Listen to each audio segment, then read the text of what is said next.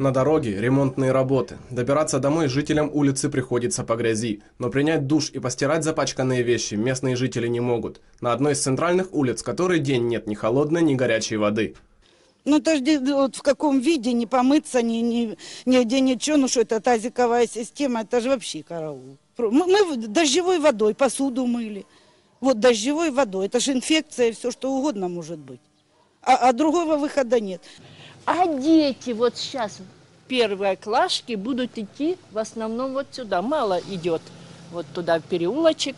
В основном идут сюда, вот на Жихарскую и туда дальше, на Нижнюю Карачевку.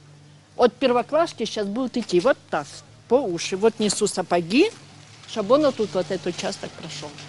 Местные жители вздыхают. Устали уже воевать за возможность помыть посуду и сварить суп. Немногие уже могут и вспомнить, когда воду отключили. Кто-то говорит, что водопровод прорвало неделю назад, другие уверяют, что воды нет пять дней.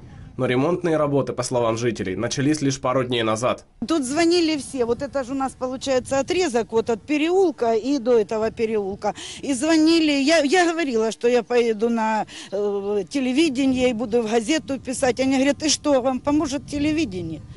Коммунальщики говорят, ремонт затягивается из-за сложности аварии. Прорвала трубу, которая обеспечивает водой сразу четыре улицы. Внесла свои коррективы и погода. Ремонтировать водовод под ливнем практически невозможно, объясняют рабочие. Мы могли как бы выключить всю часть улицы. Получилось, что выключили только половину улицы.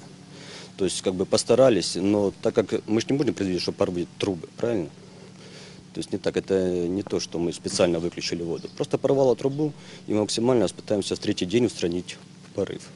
Завершить ремонтные работы обещают уже сегодня вечером. Уверяют, повторения ситуации не будет. Старую трубу не залатают, а поставят новую вместо нее. Денис Квартальнов, Алексей Калмык, медиагруппа «Объектив».